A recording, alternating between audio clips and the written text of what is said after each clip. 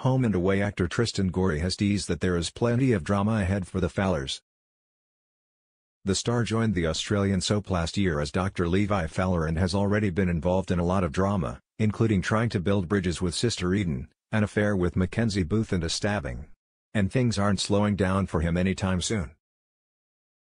Speaking to Australian Yahoo, Gorey said, I'm loving the whole Fowler family dynamic, there's so much fertile ground for drama there and it's been a lot of fun to play with.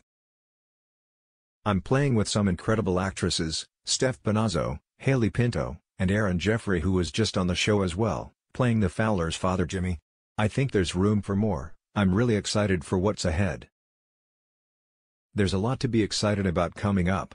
The writing team has done a phenomenal job with the Fowler storyline and as I said there's some fertile ground there and I'm very pleased to be part of the show.